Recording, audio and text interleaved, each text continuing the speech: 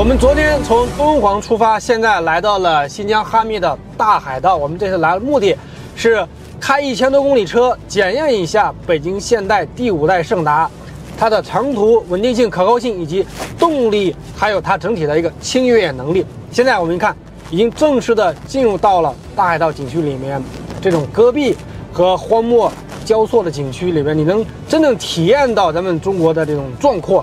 另外，也可以检验一下 SUV，它最主要的就是它行驶的舒适性、大空间和它整体的动力性。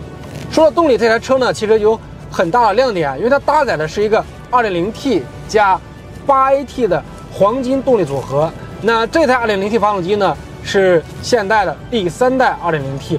那它最大可以爆发247匹马力，风扭矩是达到了353牛米。官方并没有给到一个零百加速的数据，但是官方给到了一个非常有含金量的数据，是它的一个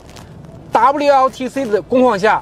百公里的综合油耗，呃是八点零五升。刚才我们从哈密市区出发，呃，我看到的一个表显短途油耗呢是百公里八升，有这个哈密市区，有国道，有现在景区道路，所以这个数据是无限接近于官方的综合油耗的。那还有一个重要的参考是，这台车上一站媒体开了一千多公里，目前呢两千多公里的一个综合表现油耗呢是百公里十点八升啊！大家不要觉得这个数据高啊，因为